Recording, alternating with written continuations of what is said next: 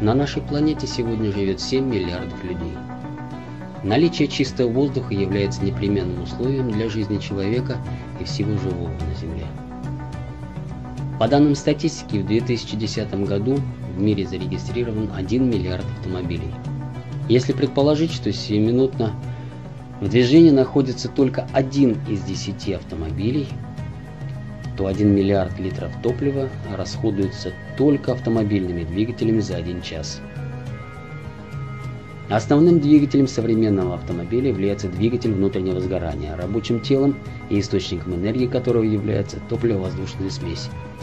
В топливо-воздушной смеси на 1 литр топлива расходуется 14 кубических метров воздуха.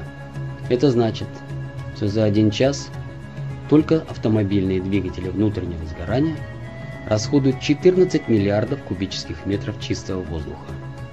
Это миллионный город, жители которого буквально в одночасье лишили чистого воздуха, заменив его отработавшими газами. Удивительно, но КПД самого совершенного на сегодня двигателя внутреннего сгорания не превышает 30%.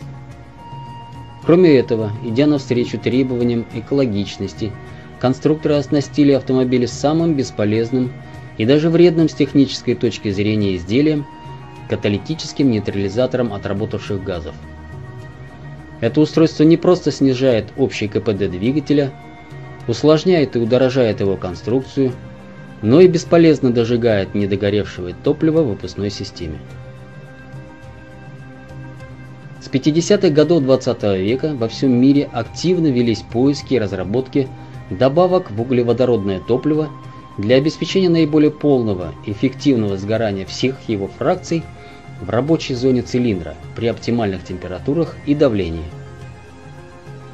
В результате был создан новый класс топливных добавок – катализаторы горения топлива. Тот, кто уже применяет продукт, смог на собственном опыте убедиться в его эффективности.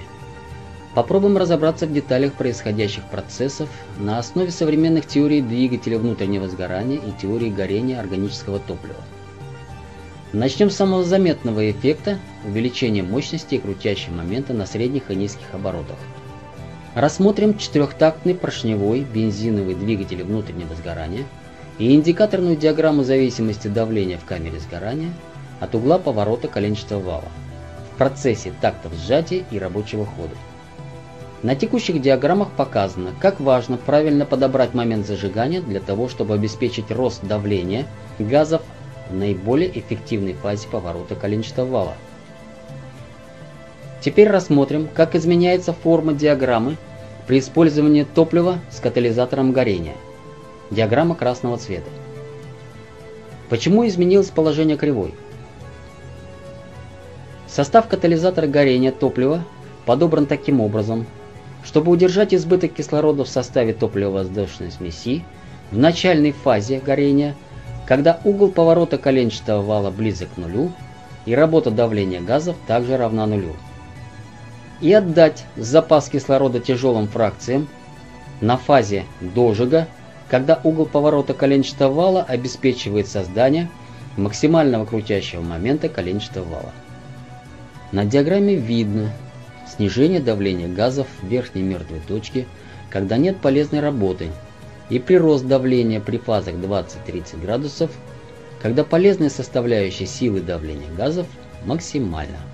Второй заметный эффект при использовании катализаторов горения топлива – это снижение шума и вибраций при работе двигателя. По расчетам специалистов, величина давления на поршень в начале рабочего хода составляет около 10 тонн. Поэтому любое снижение нагрузок в этой фазе приведет к снижению шума всех деталей цилиндра поршневой группы и кривошипно-шатунного механизма. Кроме этого, оптимизация процесса воспламенения и начальной фазы горения за счет регулирования расхода окислителя при использовании катализаторов горения топлива снижает флуктуацию, разброс мощности каждого цикла при прочих равных условиях работы ДВС – Именно поэтому ощутимо снижается уровень вибрации двигателя. Эффект экономии при применении катализаторов горения связан с более полным использованием энергии топлива.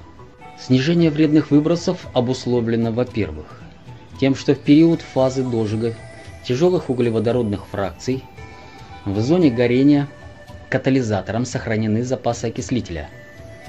Во-вторых, каталитически активное напыление камеры сгорания обеспечит более полное выгорание топливо-воздушной смеси в пристенных слоях.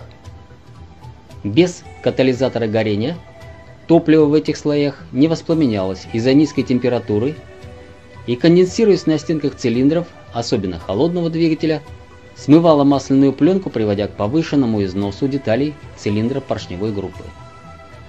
И третий фактор. Благодаря нормированному расходу окислителя в начальной фазе горения снижается максимальная температура в камере сгорания, и как следствие уменьшается количество окисленного азота, процесс окисления которого начинается при температурах выше 1300 градусов по Цельсию. Теперь представьте себе, что все автомобили в мире стали использовать топливо с катализатором горения. Каждый автомобиль сберегает более 10 кубических метров чистого воздуха в час.